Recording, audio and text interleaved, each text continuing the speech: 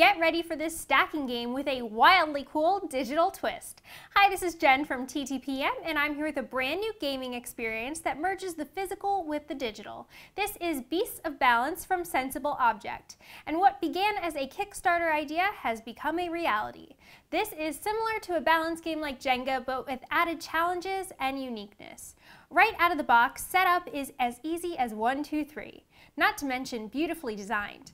You will need to download the Beasts of Balance app to your smartphone or tablet in order to play. Then turn on the Plith, as it's called, which is really the element that the gameplay centers around.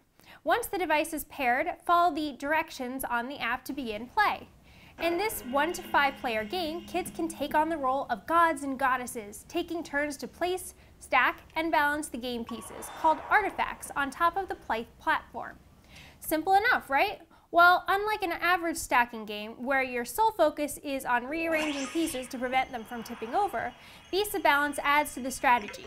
You are helping to build a world of beasts, the six that are included, as well as crossbreeds you can create to earn points.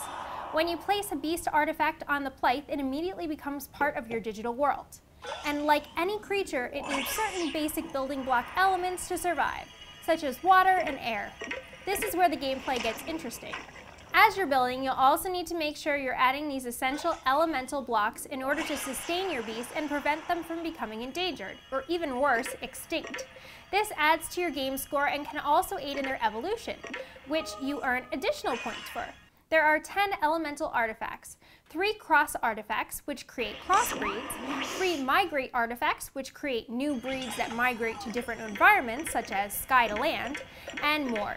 So as you can see, this might be simple at first glance, but it's really quite a unique game strategy that does a great job at bridging the gap between digital and physical worlds.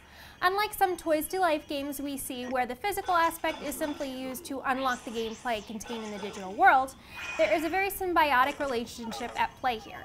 We quickly found ourselves immersed in the gameplay, and it's exciting enough to play solo and interesting enough to keep more players engaged and strategizing. Beasts of Balance is for ages 7 and up and is currently available through the Beasts of Balance website. Additional add-ons are also available and sold separately. For more on where to buy and current prices, find us at TTPM and subscribe to our YouTube channels for more great reviews every day.